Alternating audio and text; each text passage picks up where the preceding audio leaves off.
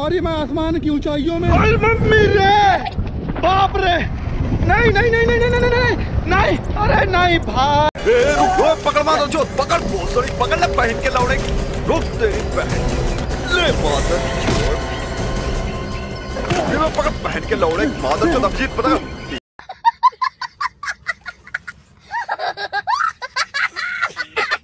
वाह वाह वाह। अभी इसको कैसे खाने का मालूम है नहीं। इसका ऐसा गोल गोल छोटा छोटा टुकड़ा करके ये मसाला लेने का फिर ऐसा छिड़क।